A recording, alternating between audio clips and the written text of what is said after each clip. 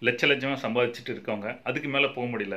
டீமை next level கொண்டு போகல அந்த மாதிரி பல சொல்லிக் கொடுத்து வச்சு நீங்கள் அரை லட்சம் ஆறு லட்சம் ஏழு லட்சம் பண்ணுவீங்க. ஏன்? கோடி கூட பண்ணியிருக்காங்க. அதுக்கு என்னென்ன தேவையோ?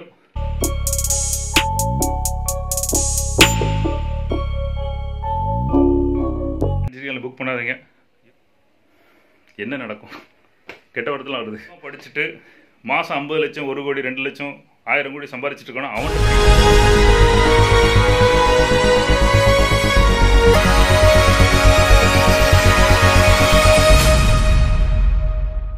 பல வருஷமாக நெடுமாட்டில் இருக்காங்க.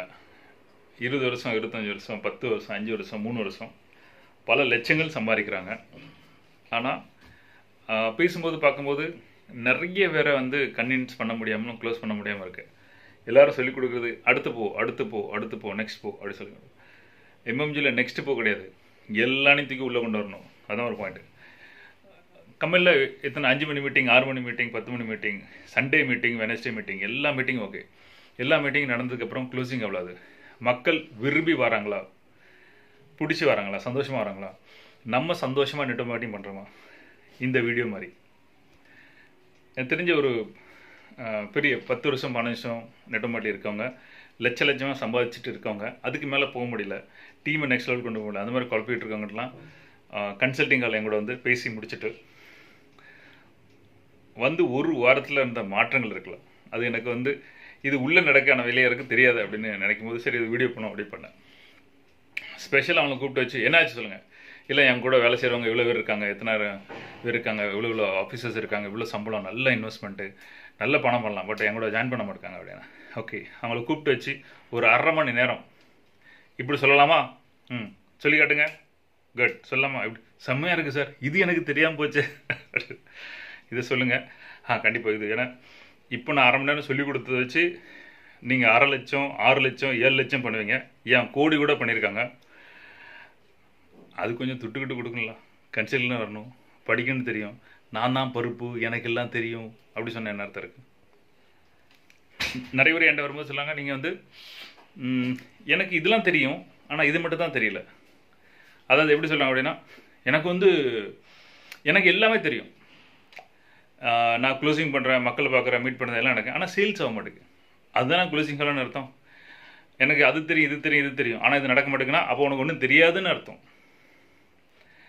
நான் சொல்லுவேன் என்கிட்ட ரெண்டு வகையாக ஒருத்தர் வருவான் ரெண்டு வரையும் ஒருத்தன் ஒருத்தி எல்லோரும் வருவாங்க. ஒன்று வந்து சொல்லுது எனக்கு வந்து இதை மட்டும் சொல்லிக் கொடுங்க சார் ஐ திங்க் இதை ஒரு பாயிண்ட் படித்தேன்னா நான் அப்படி தூள் கலப்பி கோடி கோடியாக சம்பாதிச்சிடும் இந்த ஒரு பாயிண்ட் சொல்லிக் கொடுங்க. அப்படியாப்பா? சரி ஓகே ரெண்டாவது வருவாங்க. எனக்கு இந்த இடத்துக்கு போகணும். என்னெல்லாம் சொல்லித் தரணுமோ சொல்லித்தாங்க. ரெண்டு எனக்கு இதை மட்டும் சொல்லித்தாங்க நான் படிச்சுட்டு போகிறேன்னா உனக்கு ஆன்லைன் ட்ரைனிங் இருக்குது அப்படியே வெளியிருந்து படிச்சுட்டு அப்படியே போ. அது ஜெயிக்கலான்றதுக்கு நீ பொறுப்பு என்கிட்ட வந்துடாத? ரெண்டாவது பாயிண்ட் எனக்கு இந்த இடத்துக்கு போகணும்.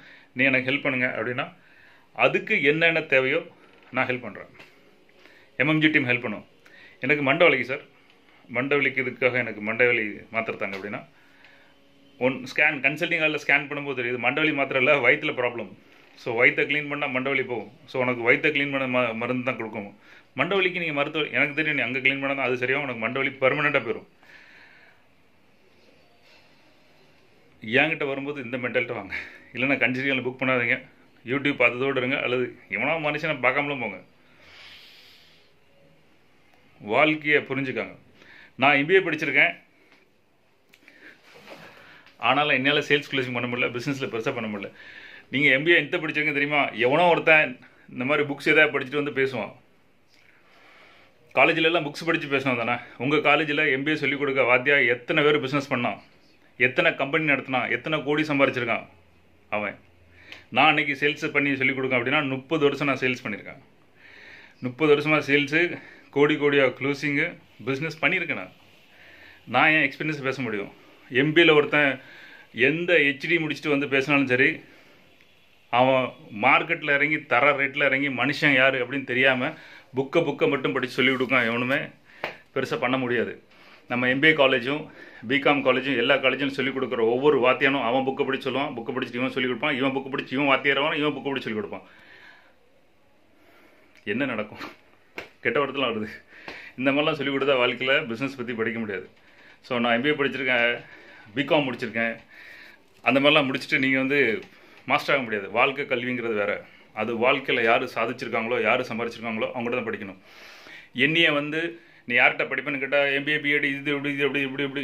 ஐயோ அப்போ இவ்வளோ படிப்பா? அவன்கிட்ட படிக்க மாட்டேனான் எவன் படிச்சுட்டு மாதம் ஐம்பது லட்சம் ஒரு கோடி ரெண்டு லட்சம் ஆயிரம் கோடி சம்பாரிச்சிட்டு இருக்கானோ அவன்கிட்ட படிக்க முடிஞ்சா அவன் தூரம்னு பார்க்க முடிஞ்சாலும் சரி அந்த மாதிரி அவன்கிட்ட படிப்பான். ஏன்னா அவன் சாதிச்சிருக்கான் சம்பாரிச்சிருக்கான் வாழ்ந்துட்டு இருக்கான்.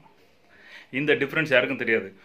அகாடமிக் கல்வி ஸ்கூல் கல்வி காலேஜ் கல்விக்கும் பிஸ்னஸ் மேன்ட்ட மென்டர்கிட்ட கோச்சிங் எடுக்கிறதுக்கும் ரெண்டுக்கு டிஃப்ரென்ஸ் இது நிறைய கூமுகட்டைங்களுக்கு இன்னும் தெரியாது. நான் புத்திசாலியாக முதலே உஷாராயிட்டேன். நாற்பது வருஷம் என் வாழ்க்கை நாசமாக போச்சு. அதுக்கப்புறம் உஷாராயிட்டேன். இப்போ கொஞ்சம் வருஷமாக நான் தப்பிச்சிட்டேன். இதை நான் சொல்லுறதுனால யோசிக்காதீங்க. நீங்கள் அனலைஸ் பண்ணுங்கள் நிறைய பேர் படிக்கலைன்னா நல்லா சம்பாதிப்பான். படித்ததுனால சம்பாதிக்க மாட்டான். நான் இதெல்லாம் படிச்சுட்டு எம்எஸ்சி எம்எட்டு படிச்சுட்டு இந்த ஐஆர்ஐக்கு வேலை பார்த்தது அது சந்தோஷமாக இருப்பான். ஆனால் எப்படிலாம் சம்பாதிக்க முடியும் என்ன சம்பாதிக்கும் அது படிக்கிறது வேலை பார்க்கறதுக்கும் அவனுக்கு கூனி குறுகி கிளம்ப போயிடுவாங்க லைஃப்பில் இதெல்லாம் புரிஞ்சவன் பிஸ்தான்